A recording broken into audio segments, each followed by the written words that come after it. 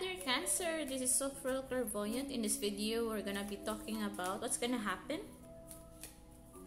from January 5 till the 11, guys. Weekly, yeah. For you, Cancer, what's gonna happen?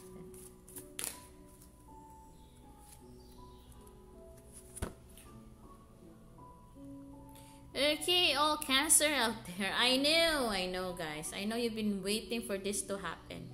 If you're dealing with someone that you have been waiting for that person to act towards the connection, I got a feeling it's gonna happen this week. So be prepared. A lot of action is gonna happen. It might be someone that you're dating, it might be someone in the past, or any person that you have been waiting for that person to act upon the connection, then it will happen, guys. I hope you're prepared for that. Because there might be a possibility it will knock you off to your surprise. Yeah, you'll be you'll be surprised like wow all of a sudden this person is doing something towards me. And be prepared okay? I know you want to know what is the true intention of this person but nevertheless just enjoy the action guys. Just just think about it like having a movie and you're going to just watch it until the end okay? Yes do not think do not overthink about it okay? Just have fun. Enjoy the show okay? Another thing that will happen for the entire week Oh wow, Cancer. Oh my gosh. I'm so happy for you. You're gonna be super happy, guys. You're gonna be celebrating. Again, maybe because of that person whom you've been waiting to act upon the connection. Yes, totally, guys. It will be something that you're gonna look forward to and you're gonna have so much so much fun.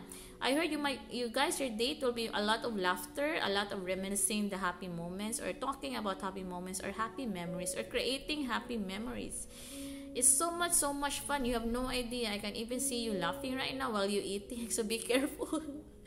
the food might come out from your mouth. Okay, goofy, cutie, um, just giggles. A lot of giggles happening. And yeah, I I can even see you right now. Your smile, always smiling when you are interacting with this person whom you've been waiting to act upon the connection, you guys. And lastly, Okay, this is for you, Cancer. Be careful because I got a feeling you have an imbalance in your sixth chakra in your third eye. Um, there might be a possibility you have you may experience um what do you call it um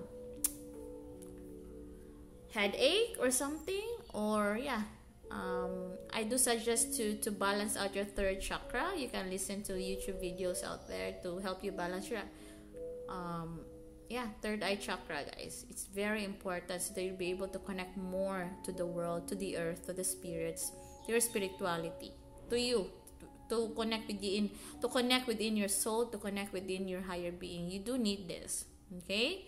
You need to connect with your soul you need to connect with your higher being because it's very important for you to be happy to feel contented and fulfilled because opposite of this you will be going towards being materialistic and at the end of the day you will not be happy about it like totally happy about it. You might be happy in a moment but not it's not like super satisfying kind of happiness okay? Yes but nevertheless you're gonna have a happy happy week you guys. Congratulations cancer